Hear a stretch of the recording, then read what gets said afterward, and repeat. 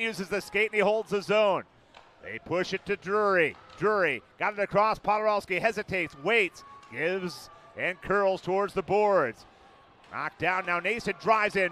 And a shot from the wing. They score! Jack Drury!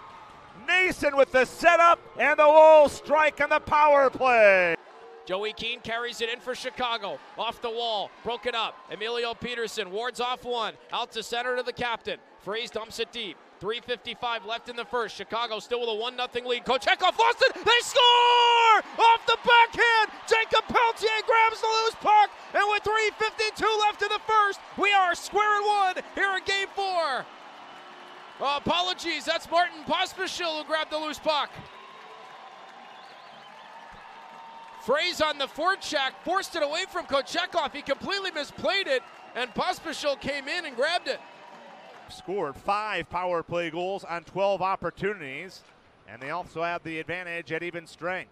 Wolves work in. Here's Noesen. Fires into the slot. Poturalski shoots. He scores! Andrew Poturalski gives the Wolves a 2 1 lead on a second assist of the night for Stefan Noesen. What? Are underway in the third period. We'll get to more of those responses if they become available. A huge third period for the Wolves trying to punch their ticket back to the Calder Cup final.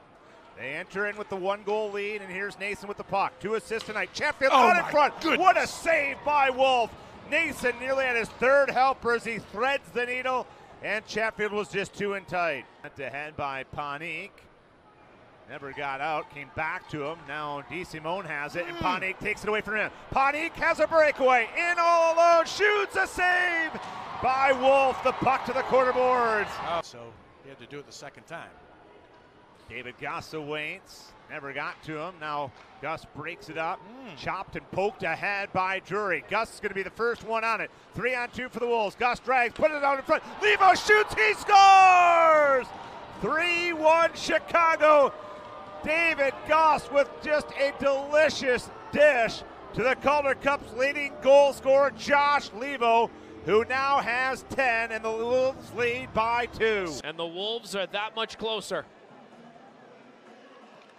The hill just became a little steeper for Stockton if they want game five tomorrow. Play to Kochetkov. He turned it over. Phillips to drive knock. Rebound. They score! Right back at it. It's Justin Kirkland. And with 14.56 left in game four, the Heaters still alive. They're down 3 to 2. Just seconds after it. Blocker side of Kochetkov. Face off, one by Froese. Back to the blue line. Valimaki, tight ropes, shadow by two. Gives way to DeSimone. DeSimone fires, stop, puck's loose, he score! Glenn Gawdin ties it up with 48.2 seconds left. We are tied at three. Oh my! Glenn Gawdin, his first goal of the Western Conference Final, and my goodness, did he pick a hell of a time for it! And we are not done yet. Valimaki wards off his assailant. Hands off to Kirkland. Kirkland fakes the shot. Back for Valimaki. Valimaki, Phillips to keep the season alive, and his shot's blocked. And the shot is still not out. Kept in. Valimaki, Gawdin for the win. He scores!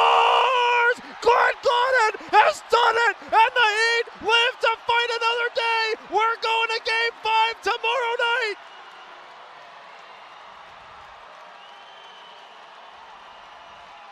We will see you in Stockton Arena tomorrow night at 6 o'clock.